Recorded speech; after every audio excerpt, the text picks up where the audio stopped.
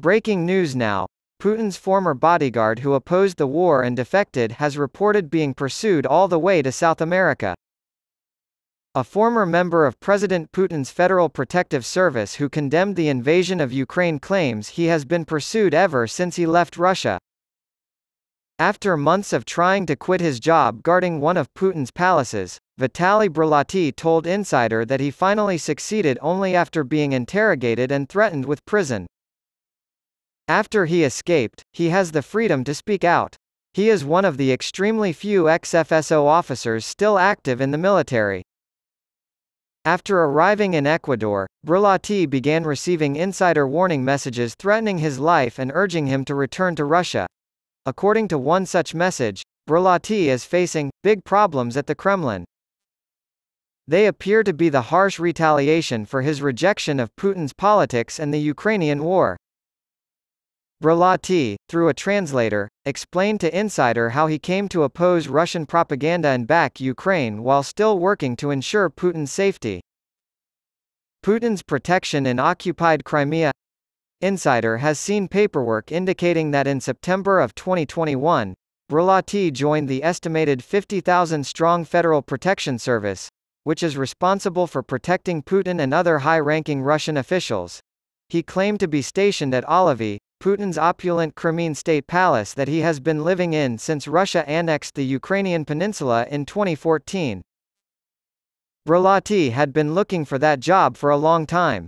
He claims that in order to become an FSO officer, he was required to undergo a battery of tests, including a lie detector, to determine his honesty. Having been forced, in his words, into a police assignment in occupied Crimea, he initially expressed apprehensions about doing so. A large portion of his family lived there, and he would be able to retire comfortably with an FSO salary of 68,000 rubles, $700 per month.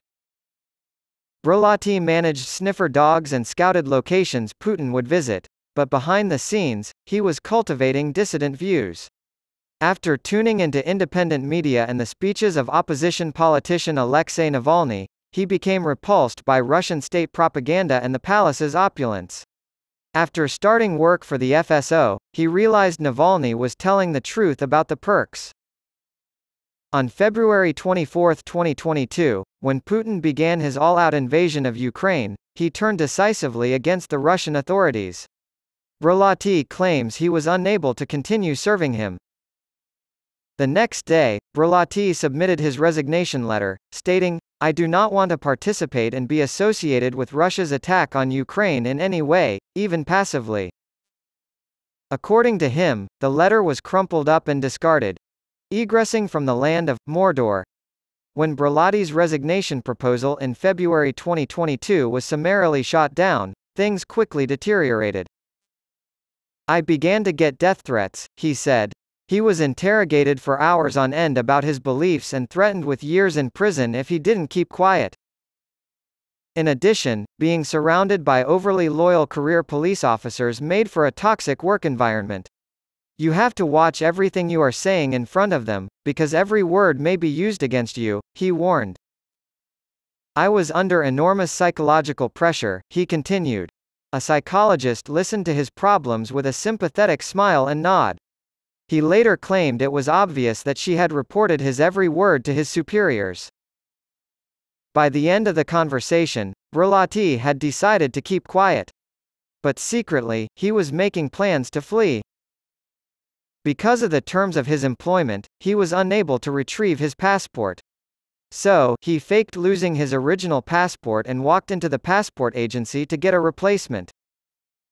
No one had given him the okay to quit yet. Then, however, the light began to dawn. He learned that a major stipulation for many government jobs is that you cannot hold any foreign work permits.